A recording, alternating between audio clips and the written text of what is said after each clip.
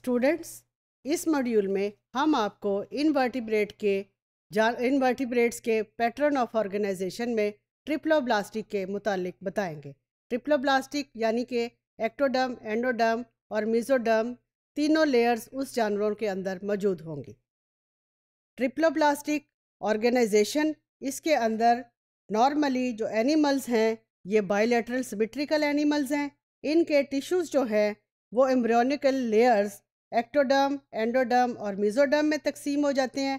Ectoderm से epidermis और body की आउटर वॉल बनेगी। मिजोडर्म से इसके अंदर skeletal muscles bones connective tissues heart और यूरोजेनिटल सिस्टम बनेगा। एंडोडर्म से गैस्ट्रोडर्मस टिश्यूज़ जो कि गट कैविटी के अंदर मौजूद होंगे, वो बनेंगे। इस डायग्राम से आप देखें कि ट्रिप्लोब्लास्टिक ऑर्गेनाइजेशन जो है वो कितनी वाज है? एक्टोडम ये आप देखें, ये सेल्स हैं।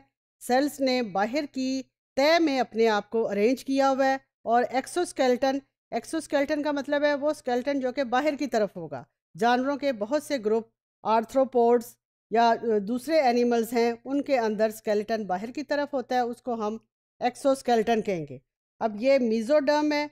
इस मीज़ोडर्म में आप देखें, ये अंदर की तरफ़ है। इससे मुख्तलिफ़ ऑर्गन्स जैसे हमारे मसल्स टिश्यूज़ ये डेवलप होंगे। अब ये एंडोडर्म है। एंडोडर्म से जो ऑर्गन्स की इंटरनल लाइनिंग्स हैं, वो डेवलप होंगी। अब ट्रिप्लोब्लास्टिक में एसिलोमेट सूडोसिलोमेट और सिलोमेट पैटर्न्स मौजूद हैं। ट्रिप्लोब्लास्टिक की क्या क्या खूबियाँ हो सकती हैं? कि एसिलोमेट जो एनिमल्स हैं, इसमें फाइलम प्लेटी हेलमेंथिस और निमर्टिया यानी कि रिबन वर्म्स मौजूद हैं। इसमें गैस्ट्रोट्रिका फ्री लिविंग और फ्रेश वाटर स्पीशीज़ मौजूद हैं।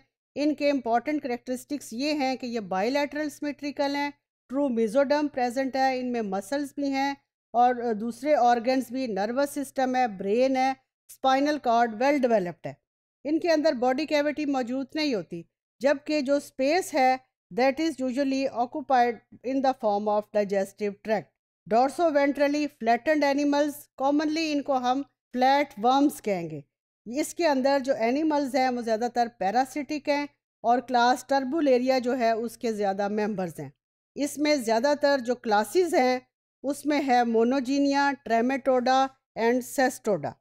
अब ट्रिप्लोब्लास्टिक सूडोसिलोमेट पैटर्न के अंदर जो करेक्टरिस्टिक्स हैं, सूडोसिलोमेट्स के, कि ये बायोलेटरल सिमेट्रिकल हैं, अनसिगमेंटेड हैं, ट्रिप्लोब्लास्टिक हैं, इनके अंदर कंप्लीट गट प्रेजेंट है circulatory system respiratory system present नहीं है. डायोशियस हैं. डायोशियस मीन मेल और फीमेल जो हैं वो सेपरेट है. दो कैविटीज़ है इसके अंदर गट कैविटी और सीडोसिलोम जो कि ब्लास्टोसली से बनेगी. इनके अंदर पेरिटोनियल कैविटी मौजूद नहीं है और बॉडी वॉल जो है, जिसको हम एपिडर्मस कहेंगे डर्मस मसल्स ये सारी की सारी it is all surrounding the pseudocoelom यहाँ पे आप देखें, ये एक फ्लैट वर्म की टिपिकल शक्ल है। इसको यहाँ से अगर हम काटें तो इसके अंदर ये तीनों लेयर्स जो हैं, वो अपने आप को किस तरह से अरेंज करती हुई नज़र आती हैं। बॉडी कवरिंग है, बॉडी कवरिंग एक्टोडम से बन रही है। मसल लेयर है, ये मिजोडम से बन रही है। डाइजेस्टिव ट्रैक है, ये एंडोडम से बन रहा है। और जो इंटरनल कैविटी है, इसको हम कहेंगे सूडोसिलोम। फिर इसमें अगर आप देखें, ट्रिप्लोब्लास्टिक सिलोमेटिक पैटर्न इसमें जो टिपिकल बॉडी कैविटी या जिसको हम ट्रू बॉडी कैविटी कहेंगे, वो है सिलोम इसमें पेरिटोनियम भी मौजूद है। पेरिटोनियम क्या है? मिजोडर्मल शीट जो कि इनर बॉडी वॉल और सिरोसा के अंदर मौजूद है। फिर इनके अंदर मिजोडर्मली ड्राइव्ड टिश्यूज़ मसल्स और कनेक्टिव टिश्यूज़ जो हैं, वो वेल डेवलप्ड है। और इन टिश्यूज़ की वजह से जो इंटरनल बॉडी का सिस्टम है, वो काफ़ी बेहतर हो जाता है। अब इसमें टिपिकल ऑर्गेनाइजेशन आप देखें इसमें है मिजेंट्री, पेरिटोनियम, सिलोम और सिरोसा। उन, वो तमाम लेयर्स जिनकी अभी हमने बात की।